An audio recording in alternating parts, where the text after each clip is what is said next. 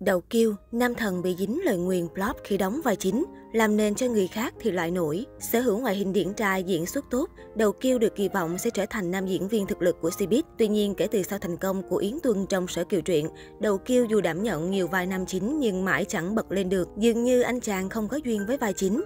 Yến Tuân sở kiều truyện, gia nhập giới giải trí từ năm 2010, nhưng phải đến khi tham gia vào sở kiều truyện năm 2017, sự nghiệp của đầu kiêu mới có khởi sắc. Trong dự án phim này, Đầu Kiêu đảm nhận vai Thế tử Yến Tuân. Tuy chỉ là vai phụ, thế nhưng nhân vật này được đánh giá là có diễn biến tâm lý cực kỳ phức tạp. Thậm chí nhiều khán giả còn cho rằng so với Vũ Văn Nguyệt, Lâm Canh Tân, Yến Tuân của Đầu Kiêu nổi bật hơn hẳn. Nhờ lợi thế ngoại hình điển trai diễn xuất tốt, Đầu Kiêu được kỳ vọng sẽ tạo ra nhiều tác phẩm thành công hơn nữa. Diệp Gia Thành thời gian đều biết, sau thành công của Sở Kiều Truyện, Đầu Kiêu tham gia vào bộ phim Thời gian đều biết đóng cặp cùng một trong những tiểu hoa 85 nổi tiếng của Cbiz Đường Yên. Vẫn diễn tốt, vẫn đẹp trai, song vai diễn này của Đầu Kiêu lại không được khán giả chú ý quá nhiều. Thêm vào đó, trong Thời gian đều biết, Đầu Kiêu phải đụng độ với nam diễn viên thuộc phái thực lực Dương Thước nên càng lép vế hơn hẳn. Nhan Thư Nhân yêu em người chữa lành vết thương cho anh.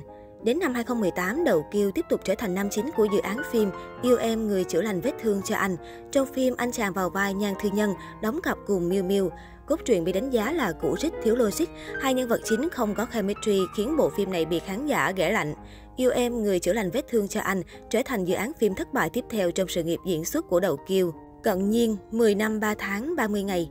Trong bộ phim 10 năm 3 tháng 30 ngày đầu kiêu hợp tác cùng nàng mỹ nữ Tân Cương của Lực Na Trác, cặp đôi được nhận xét là có visual cực đỉnh hứa hẹn sẽ khiến khán giả mãn nhãn khi xuất hiện chung trong một khung hình. Khi phim lên sóng, đầu kiêu và cổ Lực Na Trác nhận được nhiều lời khen ngợi về ngoại hình. Tuy nhiên tất cả chỉ dừng ở đó. Nội dung phim dù nhiều drama nhưng vẫn không đủ thu hút khán giả.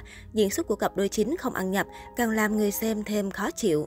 Hàng Đức Nhượng, Yến Vân Đài sau 3 năm kể từ thời gian đầu biết đầu kiêu tái hợp Đường Yên trong bộ phim Yến Văn Đài, ngay khi xuất hiện, anh chàng đã khiến khán giả phải mê mẩn với tạo hình cổ trang đẹp mãn nhãn. Diễn xuất của đầu kiêu trong phim cũng được đánh giá tốt chẳng kém hồi đóng sở kiều truyện. Tuy nhiên, khi nhìn tổng thể bộ phim, nhiều người cho rằng đầu kiêu hoàn toàn chịu nghiễm trước ba nhân vật nữ do Đường Yên, Sa Thi Mạng và Lư Sam đóng. Lôi Vũ Tranh, Hải Thượng Phồn Hoa Hải Thượng Phồn Hoa khởi quay từ năm 2017 là một trong những dự án được khán giả mong đợi nhất của Đầu Kiêu, nối tiếp mối duyên tan vỡ trong sở kiều truyện. Lần này, Đầu Kiêu và Lý Thấm yêu nhau bất chấp mọi thử thách, có hiệu ứng couple, có nguyên tác hay, thế nhưng Hải Thượng Phồn Hoa lại chẳng thể gặt hái thành công lớn.